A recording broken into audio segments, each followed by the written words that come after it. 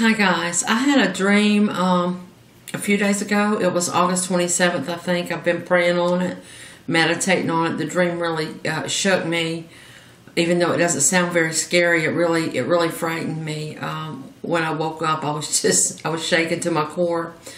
Um, I'm going to give you what I believe is the interpretation of it. And as I was meditating during my prayer time and asking, questioning God about this dream, he gave me a prophetic word. So I'm going to read that too. This is the dream.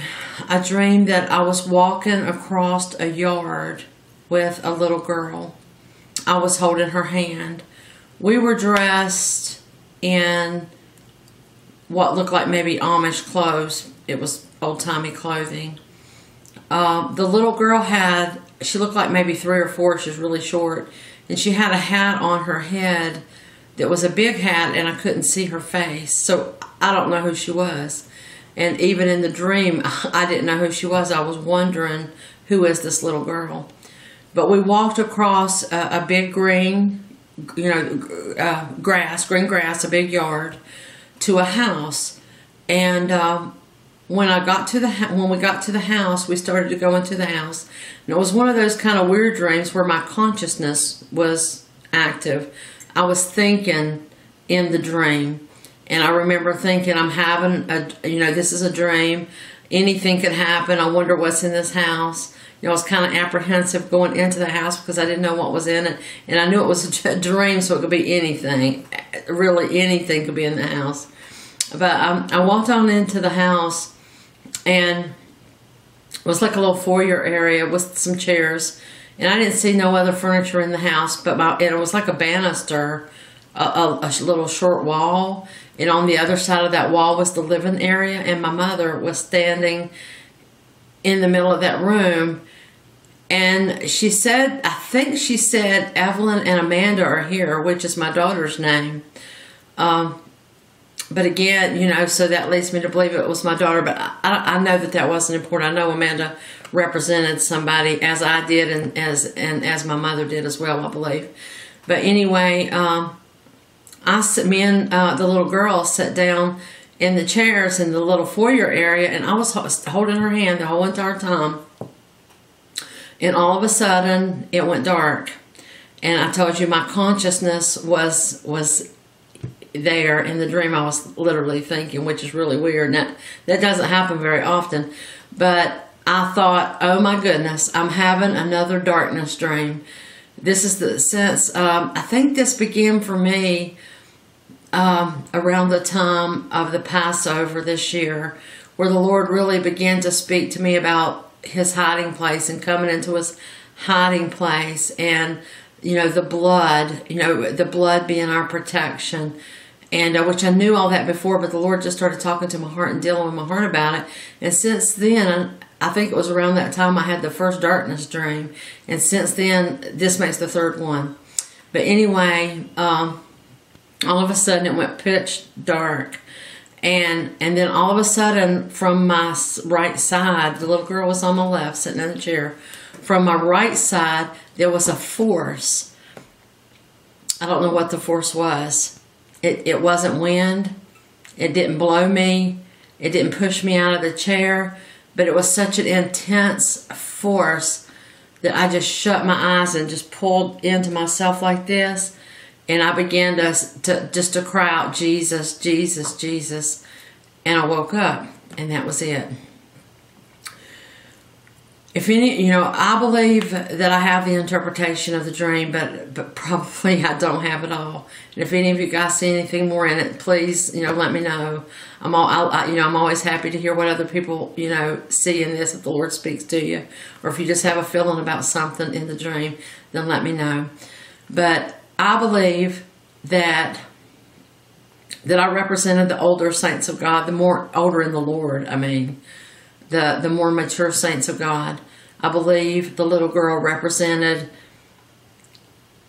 the, the, the, the new in the Lord, the immature in the Lord. I believe that us walking across the grass, I believe that that was spiritual maturity. That was discipleship.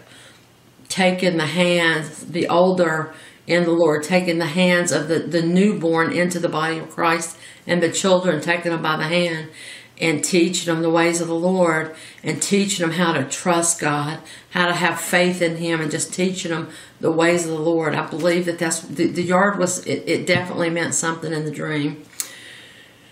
But, um, and then I think that the house represents the hiding place of the Lord. And the darkness, I don't, oh, my mom, you know, I believe that my mom represents the Holy Spirit in the dream. Many times my mother in my dreams has represented the Holy Spirit. I believe, again, that's what she represented. Her presence in, and I believe that, that that house was the hiding place of the Lord. That I went into the hiding place of the Lord and I took the younger with me. You know, I think that that represented, you know, all, all of the young in the Lord. And I represented all the older in the Lord. But uh, we went into the hiding place, and I think, you know, I don't know if the darkness, I don't know if it literally means, you know, lights out, you know, darkness, like, you know, like the moon and the sun not shining, that type of darkness, or if it represents a time of destruction, a time of, you know, really, really hard times. And it could be both, but um, that's what I'm leaning toward, you know, dist- dist- sudden destruction, really hard times hitting all of a sudden is, is what I'm feeling. But um, I think what the Lord was saying is, is that, that, that even when we enter in to his safe place, which is trust in him, that's what that is, trust in him to protect us. That he, I think he's warning me that, that we still are going to feel the the blunt the the blunt of the darkness during that time that we're going to feel the force of that. But yet we we are protected and we are in him and we do have to you know call, cry out to him. But that but the things that's coming upon the earth for the saints of god you know we are going to feel that we you know we are you know, we are going to feel it. But, uh, so I think that that's what it is. But it, it just, you know, and, and also the intensity. I think the Lord is speaking to me about the intensity of what's coming because it was so intense. I'm telling you, it was like, it was almost like I had grabbed a hold of an electrical something and I was being shocked. I mean, it just shocked me to my core I mean, and, it wasn't electricity. I know that it wasn't electricity. I'm just trying to help you to understand how how the the that force that I felt in the darkness, how it was all the way to, to the core of my being, where I could literally do nothing but cry out to Jesus, even in the secret place. And, and, and you know, and I'm sure that that's what that was, the secret place.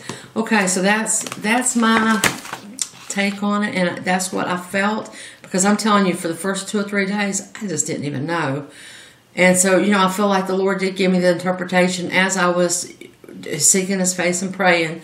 But also, I had specifically asked the Lord, you know, I was talking, specifically talking to the Lord about this dream and asking Him the meaning of this dream when He gave me this word. So that's why I'm pairing this word with this dream in this video. And this is what the Lord said. He said, my children, be aware, a time of darkness approaches. Come into my presence, learn of me, learn of my glory, my power, my might, and my goodness. You cannot survive the approaching darkness without me, so learn of me now. Come close to me now. Put your trust and faith in me now. I would not have you caught off guard. I love you. I see the plans of your enemy. I want you to know the things that lie ahead. Press into me, trust in me. I will be with you in the dark times. Though the forces of evil will surround you, I will be with you. I will be in your midst. You can trust me, so do not be afraid. Look to me. Trust in me. I am with you. Fear not, my little children. The time comes when all shall be fulfilled. I would not have your eyes blind. I want you to see all before it's time, so you will know I am God. I see all, I know all. I am mighty and I am true. You can trust me even in the darkest hour. Yes, you will feel the blast of the enemy, but even in the darkness, I am there. I am mighty. You have nothing to fear because I am near. Your enemies rise up and wage war. But who can stand in, ooh, the presence of the Lord. But who can stand in my presence? They will fall like dominoes. They will be like sheep led to the slaughter. How dare them to raise their hand against my little ones? I will have the last laugh, says the Lord of heaven's armies. That's it. God bless you. Have a good day. Thanks for watching. Bye bye.